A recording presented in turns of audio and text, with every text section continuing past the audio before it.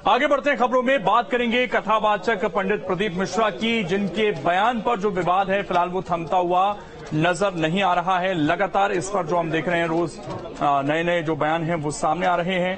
प्रदीप मिश्रा के बयान को लेकर उज्जैन में वैष्णव अखाड़े के संतों ने विधिवत धर्म संसद की बैठक बुलाई। इस बैठक में प्रदीप मिश्रा के विवाद बयान को लेकर चर्चा की गई। प्रदीप मिश्रा के बयान में बैठक में निंदा की गई, साथ ही उनके खिलाफ सख्त कार्रवाई की मांग भी की गई है।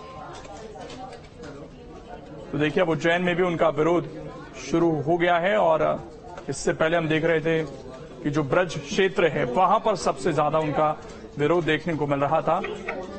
और जो बवाल है, वो फ़िलहाल थमता नज़र नहीं आ रहा है, उनके बयान।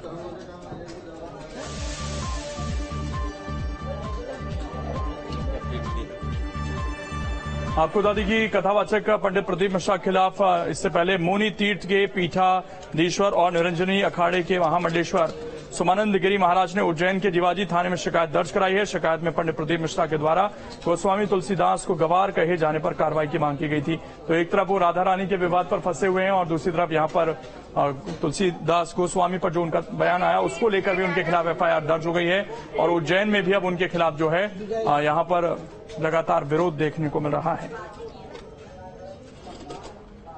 तो प्रदीप मिश्रा की जो मुश्किलें हैं, फ़िलहाल लगातार बढ़ती हुई नज़र आ रही हैं और प्रदीप मिश्रा के बयान को लेकर उज्जैन में वैष्णव अखाड़े के संतों द्वारा विधिवत धर्म संसद कर बैठक बुलाई गई। इस बैठक में प्रदीप मिश्रा के विवादित बयान को लेकर चर्चा की गई। प्रदीप मिश्रा के बयान की बैठक में निंदा की गई। साथ ही उनके खिलाफ सख्त कार्रवाई की भी जो है, वो मांग की जा रही है। हमारे सहयोगी विजय यादव इस वक्त जुड़ गए हैं। विजय, आज क्या फैसला हुआ इस बैठक के ज़रिए?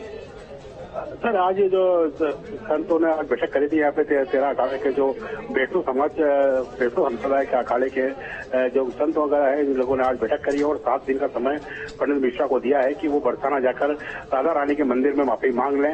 नहीं तो हम उसे उज्जैन में उसे नहीं देंगे। वही साथ में बता दें कि उज्जैन भगवान कृष्ण की शिक्षा स्थिर रही है और उसके जो शांतिपनी आश्रम है शांतिपनी के आश्रम के जो पुजारी हैं रूपम जी, उन्होंने कहा है कि हम हमारे मंदिर में, हमारे हमारे आश्रम में उन्हें भी प्रकार से घुसने नहीं देंगे। और अगर उन्होंने सात दिनों के अंदर अगर मथुरा जाकर राधा रानी मंदिर में माफ़ी नहीं मांगी तो उनका पुरजोर विरोध किया जाएगा? और उसके लिए नारेबाजी भी की है। और साथ में आगे अभी पुलिस कार्रवाई के लेकर कल शाम को शिकायत भी की थी, जिस पर वो अड़ी है कि अगर बोले सात दिन में अगर माफ़ी नहीं मांगते हैं तो इस पर पुलिस कार्रवाई की जाएगी। शुक्रिया आपका जुड़ने के लिए और जानकारी देने के लिए। तो यहाँ पर देखिए, लगातार जो विरोध है, वो अब उनका यहाँ पर बढ़ रहा है और माफ़ी मांगने के लिए उनसे कहा जा रहा है।